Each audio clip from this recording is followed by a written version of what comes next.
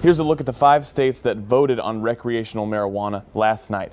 Two, Maryland and Missouri, decided on legalization, but three typically conservative states, that's Arkansas and North and South Dakota, decided against legalization. Now, I spoke with both sides today about how they think Oklahoma's special election will turn out. This was a pretty big victory for opponents of legal marijuana last night. I'm not sure that they really know Oklahoma. Smart Approaches to Marijuana, or SAM, fights marijuana legalization initiatives across the country. They note the three states that rejected legalization last night are similar to Oklahoma in that they're typically conservative states. I think the fact that you have you have more deeply conservative states voting against it really does send a message that there is a limit to the marijuana movement. Oklahoma has always been a unique state. We've always followed our own path and done our own thing. But the Yes on 820 campaign argues last night's results won't have an impact because it's more than a red or blue issue. We have felt all along that this is a not a partisan issue. This isn't even an ideological issue. It is about what is right for our state. Sam says states shouldn't be allowing what they call big marijuana to win.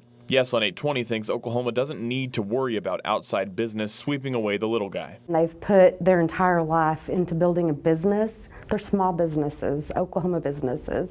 And we've done our best with this law to protect those people.